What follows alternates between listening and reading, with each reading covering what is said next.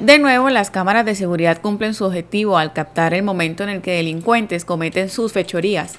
Esta vez el hecho se registró en el barrio La Libertad, en donde un hombre que se transportaba en motocicleta al acecho de víctimas advierte que dos hombres se encontraban a las afueras de una empresa del sector.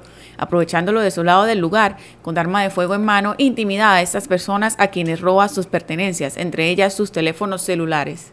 El hombre tranquilamente regresa a su motocicleta y continúa con rumbo desconocido. En acercamientos de fotografías logradas a las imágenes se alcanzan a observar detalles que pueden llegar a determinar la identificación de la persona o motocicleta involucrada en este robo.